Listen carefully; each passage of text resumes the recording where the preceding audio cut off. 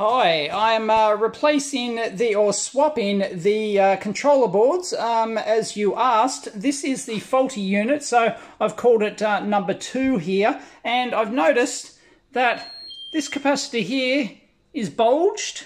It's got a bulge in the top, and this capacitor here is completely, looks like the bottom seal has completely gone on that. It's hard to see in there, sorry, but um, it is, it looks like uh, that capacitor may have uh, failed. Anyway, um, I've so I've labelled this board uh, number two. There it is there, controller board number two. So this is the faulty uh, unit and this is the good unit over here. So I've called that unit number one and I've labelled it number one and number one down there. So what I'm going to do first is put the number, the faulty uh, controller board into the good unit and we'll see what happens.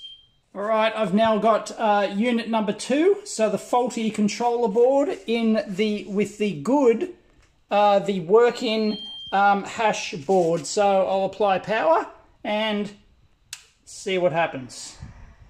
Yeah, instantly it comes green like that, whereas uh, the faulty board became red. I will double check that the uh, that the actual uh, miner works, but I'm pretty sure it won't, it, it, it will work just fine because the fault was, was that the red LED came on permanently, but now the green comes on. So that indicates that this controller board is fine. So what I'll do now is I'll put the good controller board number one into the faulty uh, hash board number two, and we'll try the same thing.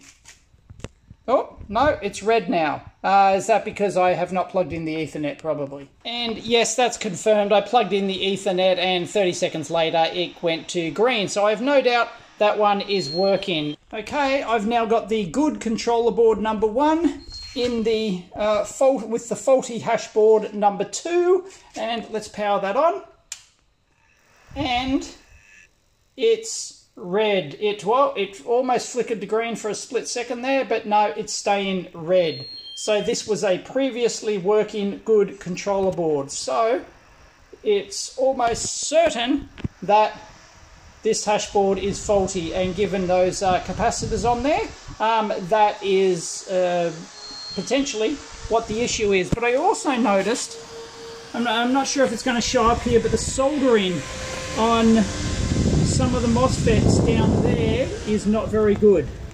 Um, so, yeah, whereas the it's better on the other unit. So, I'm not sure if that's anything to do with it, but soldering is not good on those at all. But anyway, yeah, it looks like maybe some capacitors um, have failed on that uh, board, and it's definitely the hash board confirmed. Thanks.